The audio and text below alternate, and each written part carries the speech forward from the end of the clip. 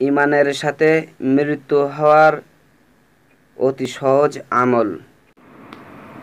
রাসুল্লাহ সাল আলহি আসাল্লাম বলেছেন, যে ব্যক্তি পাঁচক্ত নামাজের পর আয়াতুল কুরসি পড়িবে, মরণকালে তার অবশ্যই ইমান নসিব হবে। আল কোরআন